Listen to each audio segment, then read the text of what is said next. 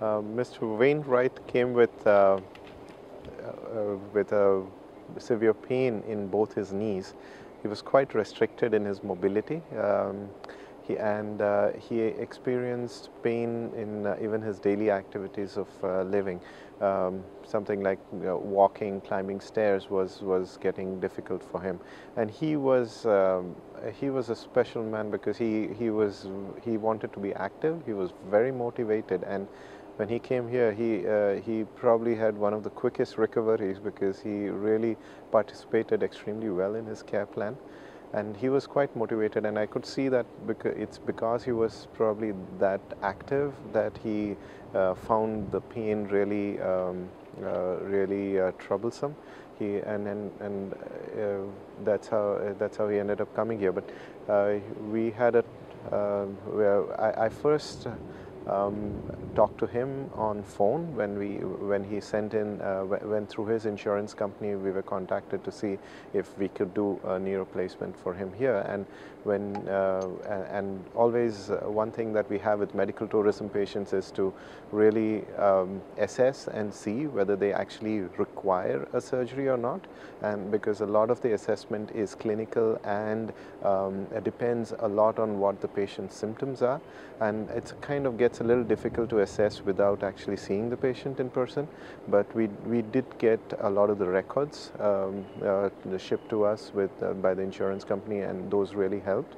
In addition, uh, I like to talk to my patients, so we had a very long chat, uh, uh, close to an hour, as to how his symptoms were and how, how, how, how uncomfortable he was. And I wanted to assess that he really um, actually needed the surgery before he came here. You don't want him coming all the way to the island and then realize he doesn't need one. But uh, we kind of uh, did all the checks and balances, and then we, and then once I saw his X-rays, I was convinced that yes, this man probably needed the, the, the surgery, and and then he came over to the island.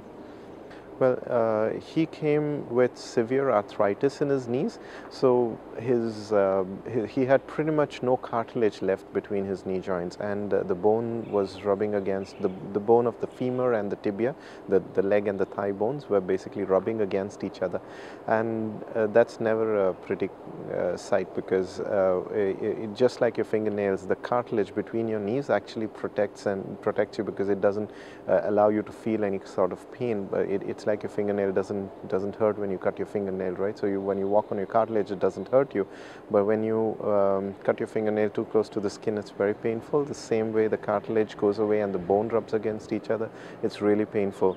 The advantage with the fingernail is it can regenerate. The cartilage cannot. So uh, once the cartilage is gone, and then you're uh, once the cartilage is gone, you're like left with uh, uh, just bone, rubbing a bare bone, rubbing against each other, and that's a pretty painful condition. Now, what we did was uh, we did a total knee replacement for him, and we uh, went ahead and did a, a, a bilateral single stage knee replacement.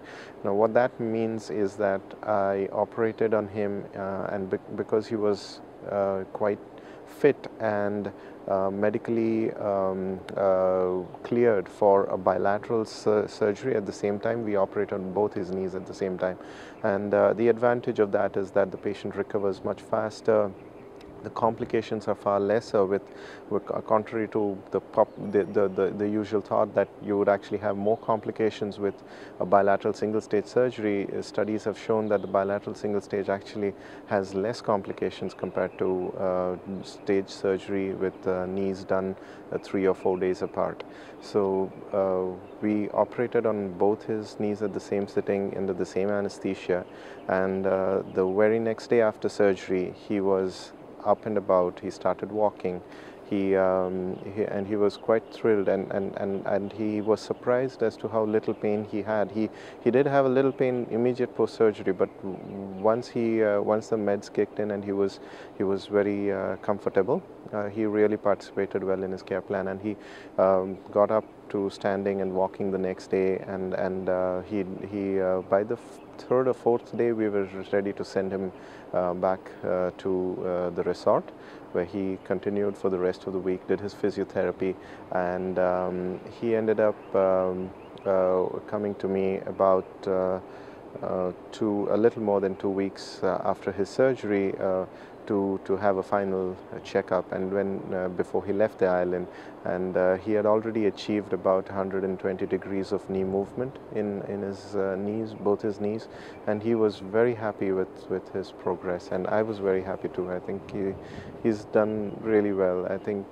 uh, to a large extent, it's not just the surgery. In, in orthopedic surgery, it's always it's it's it's 50% surgery, 50% it's the physiotherapy and the effort that the patient puts in to his rehab. That that also makes a big difference to to that person's rehab.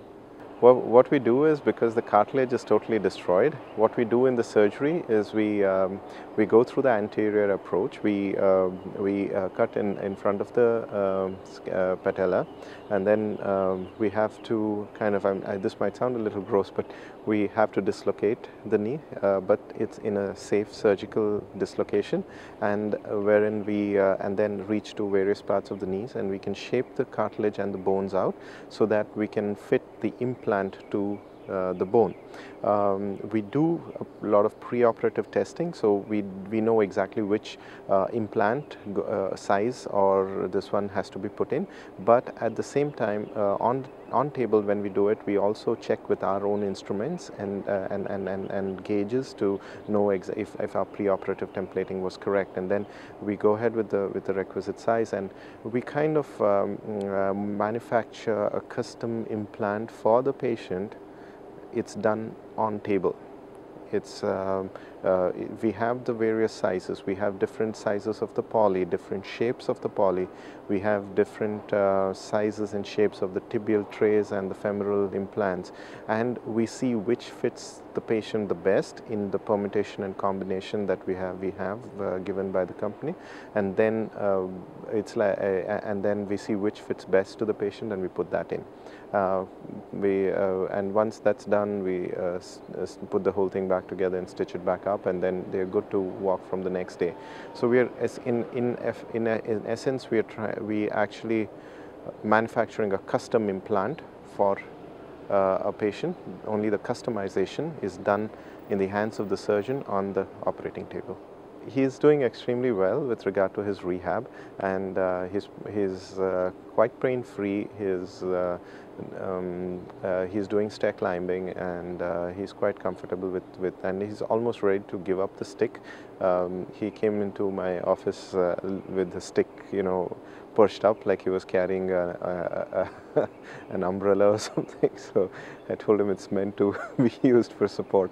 So he was he was doing really good. But uh, yes, uh, after a knee replacement, we don't really recommend uh, running or you know sports as an activity. But yes, you can be very active with the rest of the things. You can do like a like a brisk walk, a light, um, you know, uh, uh, uh um, uh, you know, a walk on the beach and other things. You, will be able to do all that. But um, uh, running and um, jogging and those and, and and also the sport activities, you can do golfing or you you, you can do the, some other um, you know low impact sports kind of activities. You can do it, but not something something like tennis or um, uh, definitely not football or basketball. So uh, that's because uh, the implant has a life too, and we've stuck the implant to the bone using some bone cement. We don't want it all loosening out too soon. So we want to see that knee last at least 20 years, 25 years. So I think a little, to a little extent, you you don't, uh, you you you your lifestyle has to be modified, but uh, but still you can be very active within those uh, within those limitations.